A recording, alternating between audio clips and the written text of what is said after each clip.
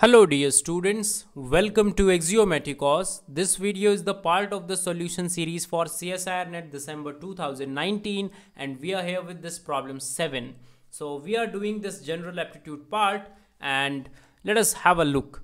Which among the following diagrams can represent a relationship between houses, offices and buildings? So what we need is we have to find out which figure out of these four will represent a relationship between houses, offices and building.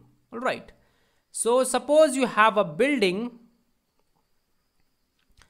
then it can happen that inside that building you have houses where people lives and also it can happen that there are offices inside that.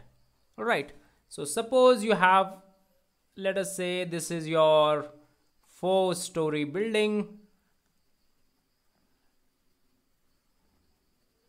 All right, so it can happen that let us say you have four floors inside this building. So what can happen is this that the initial two floors are actually uh, actually consist of offices and the last two floors consist of houses for people all right. So that means your building will consist of offices as well as houses. Now also what can happen that if a person if you have a startup all right so we have a company all right so we have a startup. Now in the startup what happens actually people don't have money to actually buy a proper proper office. So what they do in their house they start office. All right?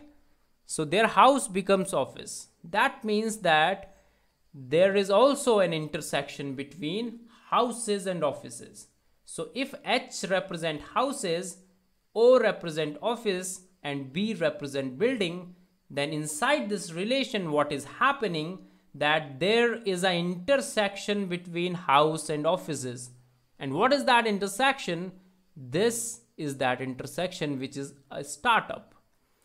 Now building consists of both of these therefore I have to draw a figure like this outside of it because it consists of both of these. It is office, it is house and this is my building.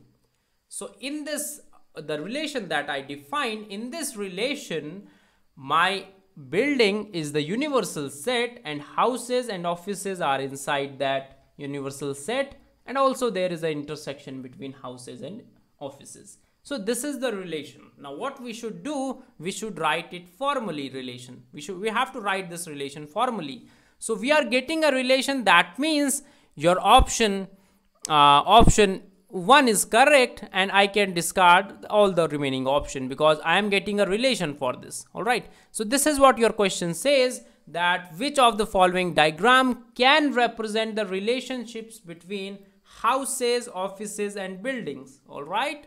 So now let me write formally this relation. So I have written it formally, not very formally, but we can take this as our relation that building consists of houses as well as offices and there is a house which which is also a office. So this is my relation and according to this relation your your A option is true. Alright. So this is how we should approach this question. Alright. So there may be a different relation that you can make uh, to mark this one option is correct. Now because one option is correct we don't have to think over these because it is very difficult to find to show that there is no relation in between these.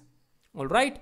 So it is very difficult to show that there is no relation uh, relation there is no relation uh, no i should say these diagram don't have any relation between houses, offices and building. This is very difficult to show, but it is very easy to show that there is a relation for this one. That is why I am marking it correct. So we are done with this question. Alright, so this is how we should do it in exam.